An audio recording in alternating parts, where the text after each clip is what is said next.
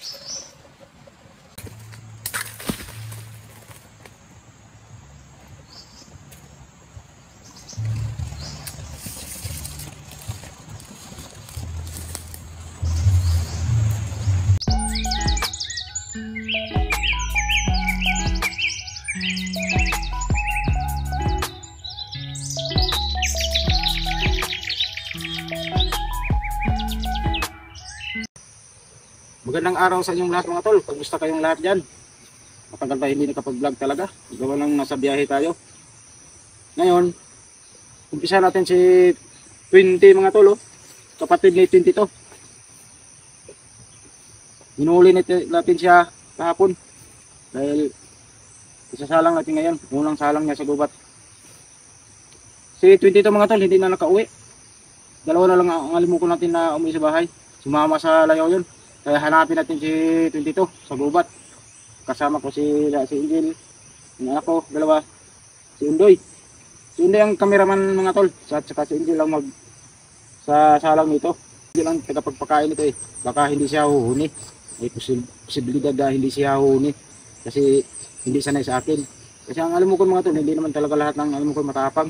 Sino-sino yung tao na pwedeng umawak sa kanyang hawla. Hindi depende sa mga alimukan mga tol. Ito ang alimukan ng mga tol eh hindi pa gaano matapag eh. Kaya si Angel lang muna ang magdadala nito. Ako lang ang mag-aalalay sa kanya. Kasi kung ako ang magsasabit dito sa puno ng kahoy, baka hindi oh nito, matakot sa akin. Kaya ganun mga tol. Depende lang sa mga alimukan mga tol. Kung matapang alimukan nyo, kahit sino-sinong tao, pwede. Ganun yun. Subukan natin to mga tol. Unang salang ni 20 sa gubat. Subukan natin kung anong mga diskarte nito. Subukan natin kung makakahuli ba siya. Titignan na lang natin ang mga diskarte nito mga tol. Sana makakahuli rin. At sana mahanap natin si dito mga tol. Yung kapatid nito. Ang isa hindi na talaga bumalik. Silaglag, hindi sa gubat, tumala, maaga pa. Pero bumabalik sa bahay talaga yun. Yun ang alam ko na yun, hirap i-train eh. Dahil sanay talaga sa tao. Ito, subukan natin to, sanay sa tao to, pero subukan natin to si 20 mga tol. Okay mga tol, let's go.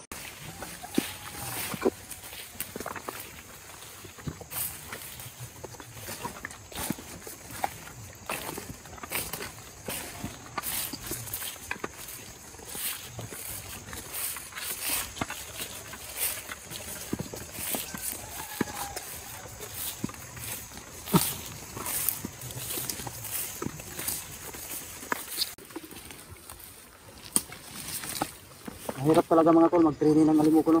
Tignan mo ang dinadaanan natin bangin. Dahil sa lugar namin wala talagang patag. Puro bangin. Kaya dito talaga mga tol. Bangin.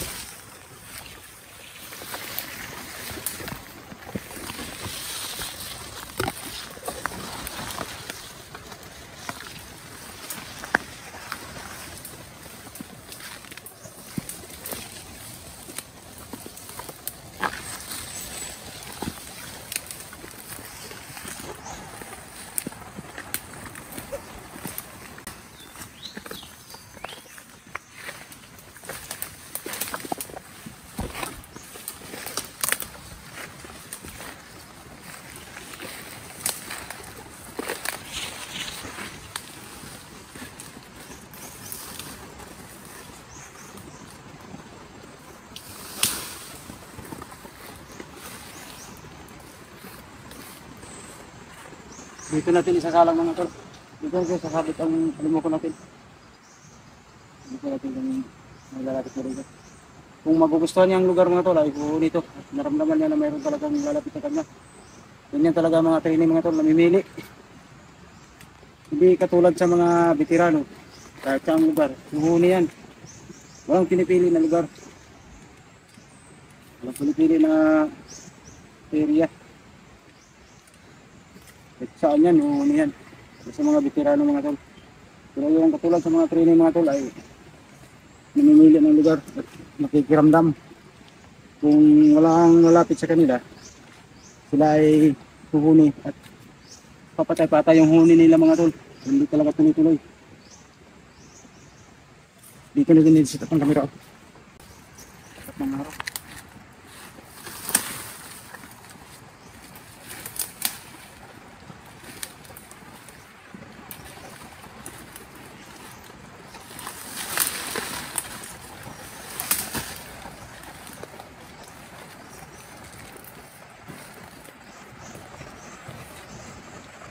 Dito na din sa tatang kamera mga tol.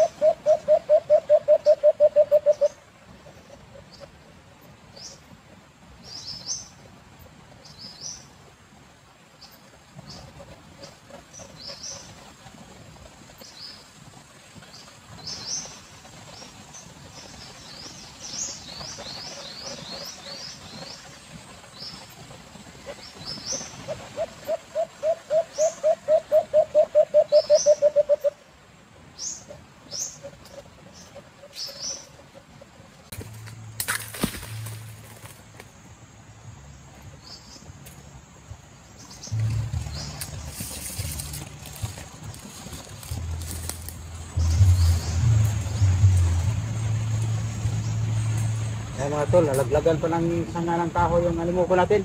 Uwi na lang tayo. Talagang hindi na talaga to ni. Nalaglagan ng sanga eh. Napakamalas naman itong alimuko na to. Hindi nilapitan, nalaglagan pa ng sanga. Kaya uwi lang tayo mga tol.